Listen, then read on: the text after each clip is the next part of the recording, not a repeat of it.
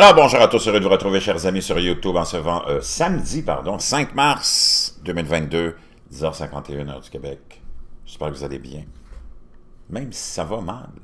Et on pourrait même, on pourrait même dire que ça va très mal. Je ne sais pas si vous avez vu les prix autour de vous, de ce que vous achetez, qui ont augmenté de façon historique. L'essence, l'alimentation. Vous allez voir le blé augmenter, qui a déjà augmenté énormément. Se nourrir, ça va être difficile. Se loger, ça va être difficile se véhiculer, ça va être très difficile. Vous allez travailler pour presque rien. La classe moyenne en prend pour son rhume depuis deux ans et demi avec la pandémie, puis là maintenant avec ce conflit. Ça va être cette guerre, dans le fond, entre l'Ukraine et la Russie. Et d'ailleurs, ça va être fascinant de voir, et c'est une analyse intéressante, et c'est pour ça que je vous la partage, du Times of India, qui nous dit que la droite ou l'extrême droite européenne est dans le bourbier Hein, à cause de cette guerre-là en Ukraine. Et ça fait longtemps qu'on n'aurait pas eu une élection présidentielle française en temps de guerre en Europe. Quand même avec deux pays importants, la guerre, hein, euh, une guerre déclarée d'une envergure quand même euh, très grande en Europe, sur le territoire européen. En pleine élection française, ça va être fascinant de voir ce qui va se passer. Et le Times of India nous dit, ben, l'extrême droite européenne est dans le bourbier en ce moment, en provenance de Berlin. L'invasion de l'Ukraine par la Russie a plongé des mouvements d'extrême droite à travers l'Europe dans une crise d'identité, alors qu'ils luttent pour concilier leur loyauté envers Vladimir Poutine, hein, qui a été un allié, qui les a financés souvent, avec la solidarité écrasante du public européen envers, naturellement, l'Ukraine et la capitale Kiev.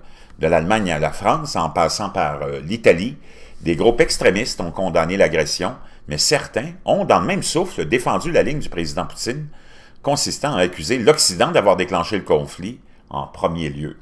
Naturellement, en prétextant qu'on a poussé l'Ukraine à toujours affirmer qu'elle voulait faire partie, puis qu'elle voulait faire partie de l'OTAN, même si du côté de la Russie, on prétendait qu'on avait eu des accords dans les années 90 à la chute hein, du rideau de fer, que l'OTAN et que l'Occident, les pays de l'Ouest, euh, pas d'aller chercher les anciens pays du bloc de l'Est.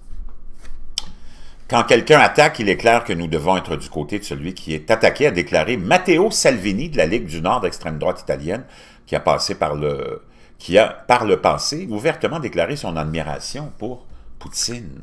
La Française Marine Le Pen s'est également jointe en, haut cœur de la condamnation de la Russie, violant le droit international. Dénoncer ouvertement la violence en Ukraine est en phase avec le reste du spectre politique et surtout en ligne avec l'opinion publique pro-ukrainienne, a déclaré Adjo Funke, euh, politologue à l'Université libre de Berlin.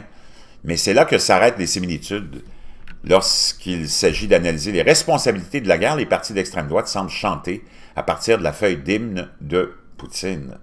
Alice Weidel, chef du parti d'extrême droite allemand, a dénoncé l'échec historique de l'Occident, l'accusant d'offrir à l'Ukraine une perspective d'adhésion à l'OTAN plutôt que de faire pression pour que le pays soit une nation tampon neutre entre l'Alliance et la Russie.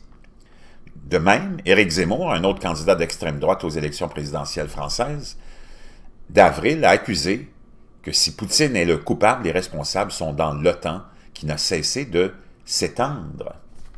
Une autre analyse, hein? Zemmour avait déclaré en 2018 qu'il souhaitait qu'il y ait un Poutine français en France les partis sont alignés sur la position russe selon laquelle le conflit ne doit pas être attribué exclusivement à Vladimir Poutine, mais plutôt, dans une large mesure, à l'Occident, déclaré Wolfgang Schroeder de l'Université de Kassel à l'AFP.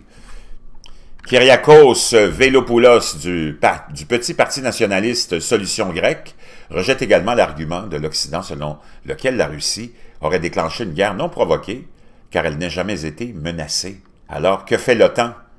Si ce n'est pas une menace, demande Vélo Poulos. De mon point de vue, la Russie n'avait pas vraiment le choix, a déclaré l'extrémiste néerlandais Thierry Baudet de la formation Forum pour la démocratie, s'attirant les fautes d'autres partis qui l'accusaient de diffuser de la propagande russe. Dans le même temps, alors que l'opinion publique est massivement opposée à Poutine, des personnalités d'extrême droite qui ont cultivé au fil des années des liens étroits avec le chef du Kremlin, cherchent à prendre leur distance. Poutine d'aujourd'hui n'est pas celui qui l'a reçu à Moscou en 2017, a déclaré Le Pen après qu'elle ait essuyé des tirs nourris à cause d'une photo immortalisant leur rencontre qui figure dans des tracts de campagne électorale imprimés avant la guerre. L'extrême droite européenne est coincée entre sa propre idéologie radicale et néo-fasciste qu'elle partage avec Poutine et le risque de perdre son influence dans l'opinion publique, a déclaré Funke. Les enjeux sont particulièrement élevés pour Le Pen et Zemmour à l'approche des élections françaises d'avril, car les sondages d'opinion montrent qu'ils pourraient recueillir environ un tiers des voix. Dans une autre contradiction apparente, plusieurs partis profondément anti-migrants, comme le Rassemblement national de Le Pen, l'AFD allemand, le Vox espagnol et un fragment du FPO en Autriche se sont déclarés ouverts à l'accueil de réfugiés ukrainiens. Pourtant, les partis d'extrême droite pourraient encore trouver un écho auprès du public, alors que la salle de sanctions économiques sans précédent imposée à la Russie se répercute sur les alliés occidentaux. L'Allemagne a reconnu jeudi qu'elle s'attend à un impact important sur son économie. À long terme, il n'est pas impossible que l'AFD en profite, à déclarer Schroeder, notant que le parti, qui est passé d'un parti anti-euro à un parti anti-immigré, pourrait encore se repositionner en tant que protecteur de l'homme ordinaire. Vraiment fascinant, mais en même temps, on comprend un peu plus le cœur. Hein? Avec le temps, on comprend euh, plus le cœur du conflit. Et ça a été peut-être euh, les deux côtés qui sont responsables, naturellement, Poutine, de l'avoir déclaré, ce conflit-là, sans vraiment que l'Ukraine ait adhéré à l'OTAN encore, mais l'Occident, poussé par les Américains, hein, et on le voit, euh, ça a été d'une importance incroyable. L'Ukraine, au fil des quatre à six dernières années, on peut penser d'abord à l'époque où Barack Obama était président et qu'il y a eu cette invasion de la Crimée on a laissé faire ça et personne n'a bougé. Première erreur, peut-être. Hein? Ni l'Europe, ni euh, Barack Obama et les Américains n'ont fait quoi que ce soit et on a continué à légitimiser euh, Vladimir Poutine et à continuer à faire des affaires avec lui. Il avait franchi la fameuse ligne rouge de Barack Obama, rien n'a été fait. Après ça, il y a eu l'élection de Zelensky et la relation étrange avec Donald Trump, l'appel qui a été euh, coulé entre Zelensky et Donald Trump, Hunter Biden, le fils de Joe Biden qui faisait des affaires et qui était sur un conseil d'administration d'une grosse corporation d'oligarques, les Américains, les politiciens américains impliqués dans un pays qui semble être gangréné par la corruption, Donald Trump qui demande à Zelensky de lui donner de la saleté sur la famille Biden, et l'appel a été coulé et ça a mené à la deuxième destitution de la première ou la deuxième, je ne me rappelle plus, mais il y en a eu deux de Donald Trump. Donc l'Ukraine au centre de au centre de la politique internationale, de la géopolitique depuis six ans. Fascinant. Et on en arrive à ça aujourd'hui.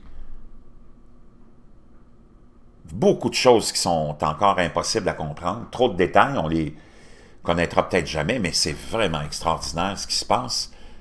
Ça dépasse tout entendement. Moi, je ne le sais pas, mais wow! Quelle époque!